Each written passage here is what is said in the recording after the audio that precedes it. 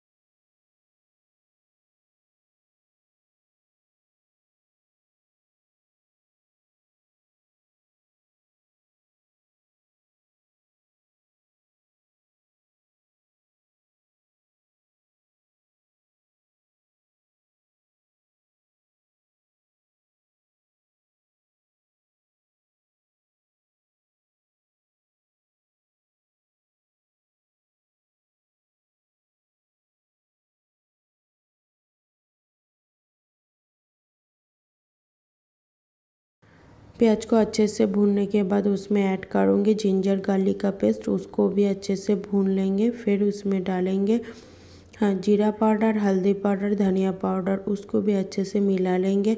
और मैं इसमें कोई ग्रीन चिली ऐड नहीं किया है, मैं इसमें रेड चिली ऐड करूँगी। वो भी पिसा हुआ पाउडर वाला यूज़ नहीं करूँगी। इधर लोकल वाला एक रेड चिली मिलता है जो कलर के लिए और तीखा चिली भी मैं मिक्स किया है। फिर गर्म पानी में रखा था। फिर उसको मिक्सर में ग्राइंड किया। वो मैं ऐड करूँगी। किया हुआ आलू था और गर्म पानी मैंने ऐड कर दिया है। तो कड़ी बनने में टाइम लगेगा।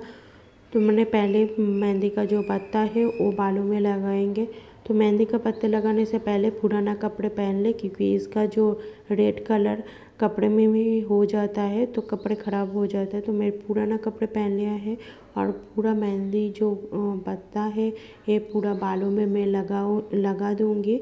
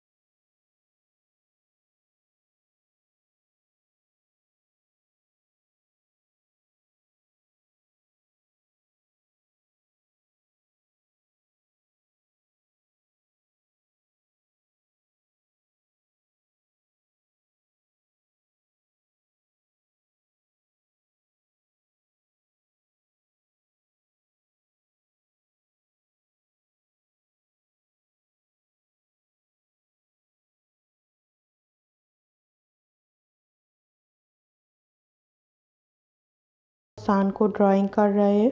क्योंकि मैं छत पे उसको सान दिखाया था तो वहाँ भी रूम पे आके वो सान और मून को ड्राइंग कर रहा है। तो मेरे को वही बोल रहा है, ये सान है, ये मून है। तो मैं वीडियो इधर ही एंड कर रहा हूँ। वीडियो को ये भी कारण से अच्छा लगे तो प्लीज़ मेरे चैनल को सब्सक्राइब करें कमेंट करें लाइक करें।